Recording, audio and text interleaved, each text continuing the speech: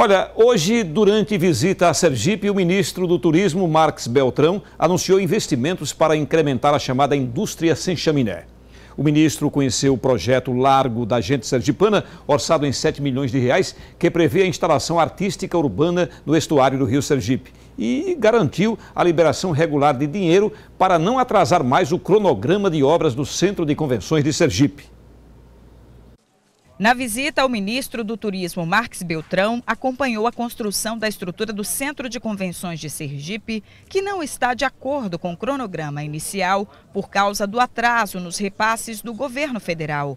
E diante da importância do SIC para o turismo sergipano, Marques Beltrão assume um compromisso. O objetivo nosso é que essa obra ela possa ser finalizada ainda no final do ano que vem ou quem sabe no início de 2018, ou seja, dentro do governo Michel Temer, nós queremos inaugurar o Centro de Convenções do Estado de Sergipe. O governador Jackson Barreto relembra que em novembro, num primeiro encontro com o ministro, já houve a liberação de quase 2 milhões de reais para a retomada da obra. Sem esse centro de convenções, é como se você cortasse 50% da perspectiva de fortalecer o turismo.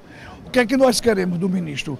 Ver a obra, ver o seu crescimento e assumir compromisso com a liberação correta mensal dos recursos, porque a obra está atrasada em função de retenção de, de, recursos no Ministério. A presidente da ABIH em Sergipe, Daniela Mesquita, comemora a presença do ministro aqui em Sergipe. Ela conta que o turismo sergipano precisa de um fôlego. Precisa de investimentos em divulgação, para que, a gente, para que a gente realmente coloque Sergipe na vitrine, os potenciais que Sergipe realmente tem, divulgar é, Brasil afora, não só nacionalmente como internacionalmente. Infelizmente esse fim de ano não era esperado, né, Dani? Não, esse fim de ano o verão não vai ser aquecido como a gente esperava que fosse, né? Então assim, então que bom que o ministro chegou até aqui, que bom que realmente ele veio é, perceber de perto as nossas, as nossas necessidades, os nossos anseios e que realmente ele está disposto e comprometido a ajudar, como ele mesmo colocou. Com a reforma e ampliação do Centro de Convenções de Sergipe, o nosso estado passa a concorrer com outros destinos de negócios. O SIC, que anteriormente tinha capacidade para receber apenas 670 pessoas, agora vai para 2.300 pessoas e recebe eventos de grande porte.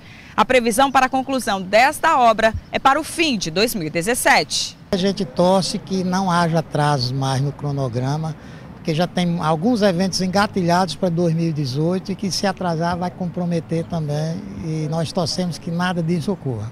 A visita do ministro do Turismo, Marques Beltrão, se estendeu ainda para a ponte Gilberto Amado, localizada no município de Indiaroba.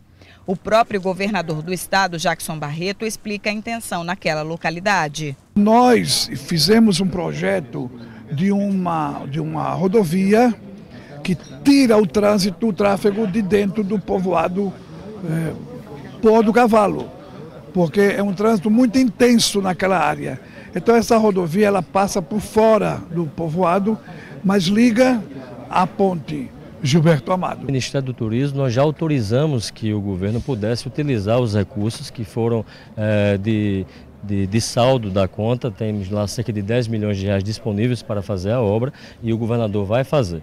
O que me parece que houve foi um problema agora com o IFAM, que andou interditando a obra que já iria ser iniciada, que está com o projeto pronto, licitado. De volta a Aracaju, no Museu da Gente Sergipana, o ministro do Turismo Marques Beltrão conheceu o projeto Largo da Gente Sergipana com estátuas, um pier e atracadouro. Esse ponto turístico está sendo pensado como um novo cartão postal do estado. O governador pediu sim ajuda para esta obra que é importantíssima para o turismo sergipano. Nós vamos levar para o governo federal para tentar viabilizar os recursos para que o governador avance com essa obra que é de fundamental importância. E também não só pediu isso não, pediu também ajuda do Ministério do Turismo para o Forrocaju, para o São João de Sergipe no ano que vem. Eu pedi para que apresentasse o projeto para que a gente estudasse e a melhor maneira de poder ajudar. Ao final, Marques Beltrão revela quais são os planos do governo Michel Temer para o turismo brasileiro em 2017. Nós estamos anunciando ainda no primeiro trimestre do ano que vem uma série de medidas para impulsionar o setor.